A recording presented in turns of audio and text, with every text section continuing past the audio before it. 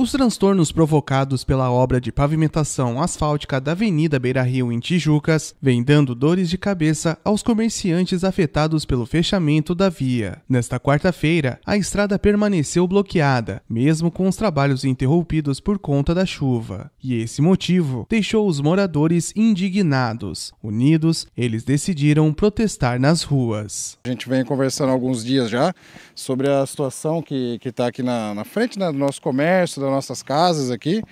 E a gente sabe que é para um que isso é, é para o pro progresso, né? A gente sabe que, que, que, é normal, só que a gente fica, fica chateado com essa situação que está aqui, né? O pessoal não está trabalhando, né? E fica tudo fechado, o movimento, movimento das ruas fica bem complicado. Então a gente está querendo só uma, uma resposta da prefeitura, né? Coisas mais, mais transparentes aí para poder para poder melhorar a situação aqui, né, que está encontrando. Quando está fechado aqui à noite, os caminhões têm passado em cima da calçada, já estourou o bueiro ali, ó.